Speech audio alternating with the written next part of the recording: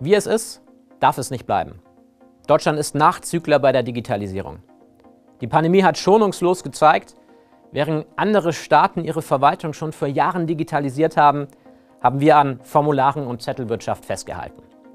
Distanzunterricht in Schulen funktionierte mehr schlecht als recht.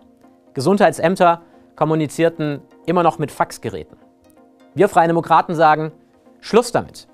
Wir müssen unseren Staat umfassend modernisieren, damit wir endlich im 21. Jahrhundert ankommen. Dazu gehört eine digitale Verwaltung, die unbürokratisch und zugleich bürgernah ist. Wir Freie Demokraten wollen dabei das Once-Only-Prinzip einführen. Das bedeutet, alle Bürgerinnen und Bürger müssen bestimmte Daten nur einmal der öffentlichen Verwaltung mitteilen und nicht jeder Behörde einzeln.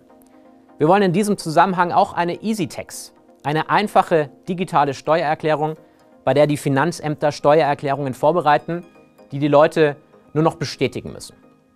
Um hier mehr Tempo zu machen, brauchen wir endlich ein eigenes Digitalministerium.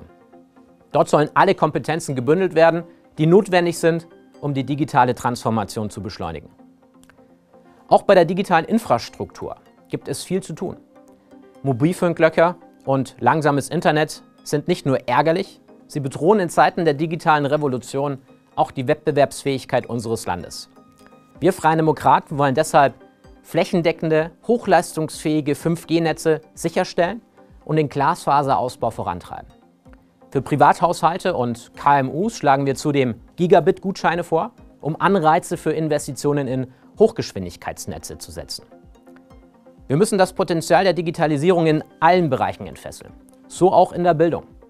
Wir schlagen deshalb für unsere Schulen ein Digitalpakt 2.0 vor, mit dem wir die Möglichkeiten der Kooperation von Bund und Länder vollständig nutzen.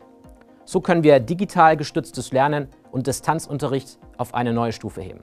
Verbannen wir Overhead-Projektoren ins Museum und holen wir unsere Schulen endlich aus der Kreidezeit. Nie gab es mehr zu tun.